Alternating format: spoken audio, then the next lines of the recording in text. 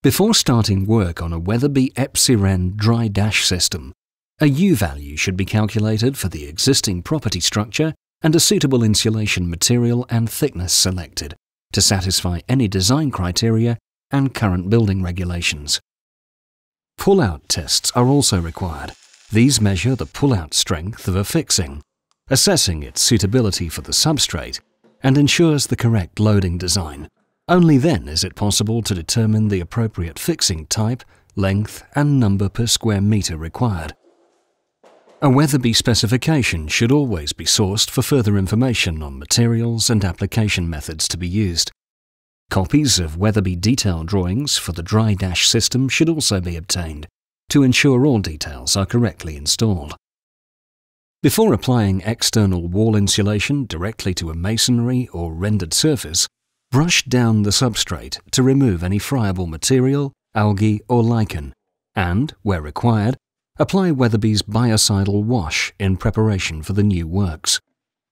Any full-depth surface profile should be firmly attached and a suitable base rail installed at approximately 150 mm above ground level.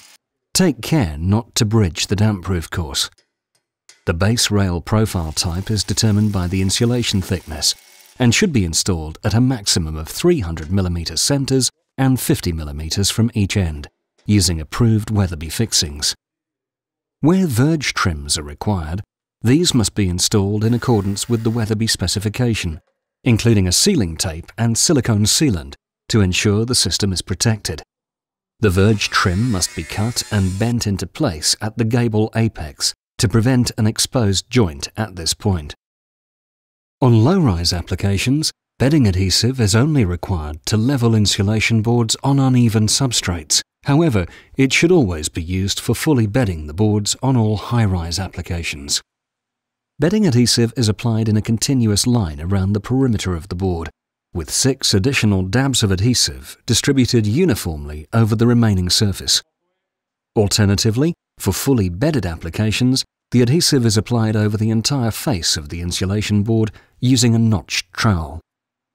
Start by placing the first insulation board on the base rail at a corner of the building, flush to the perpendicular wall. This should be secured with the approved Wetherby mechanical fixings determined by the pull-out test at a rate of 5 per board in accordance with the Wetherby fixing pattern included in the project specification. Continue to place additional boards, ensuring a staggered laying pattern is adhered to, with all boards interleaved at external corners. Additional fixings are required at 300mm centres at the external corners and around openings.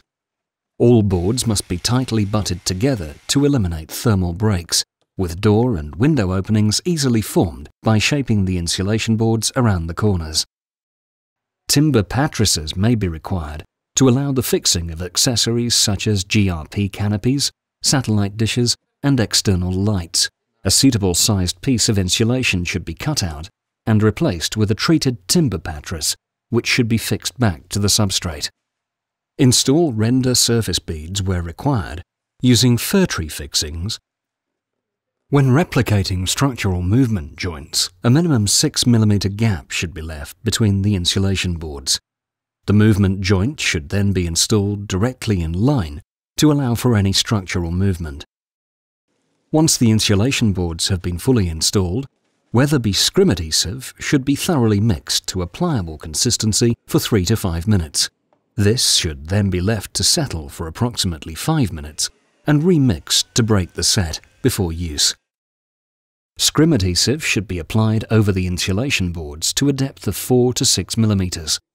Once all of the insulation is covered, a notched trowel should be run at a 45 degree angle through the base coat in preparation for the alkali-resistant reinforcing mesh.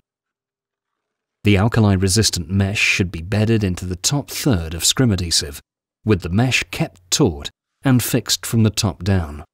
Adjacent layers of mesh should have a minimum overlap of 75 mm, with no overlaps to be placed within 150 mm of any reveal or corner. Ensure the mesh runs into all render beads and reveals to protect the full system. Trowel the adhesive to ensure the mesh is fully covered by the base coat. Ensure mesh is wrapped around the external corners.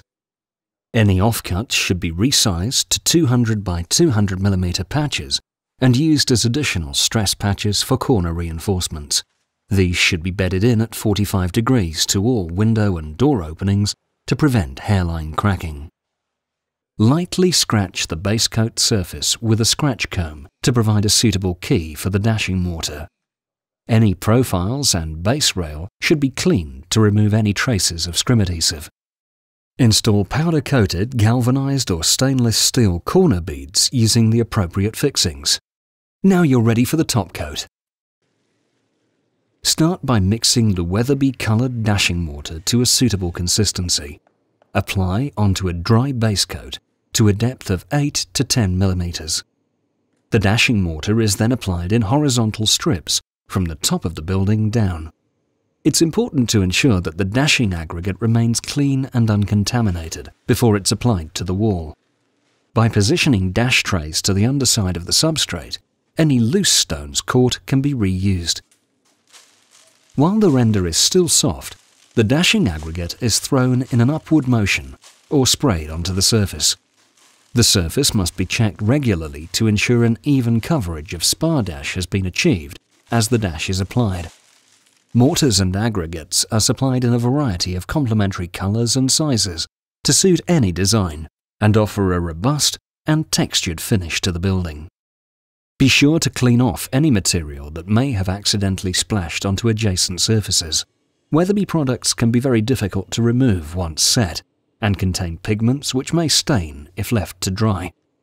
Apply Wetherby EvoStick 25-year silicone sealant around openings, at system abutments and to all areas required to ensure no water ingress occurs. Your Wetherby dry dash system is complete. Wetherby creating a greener future.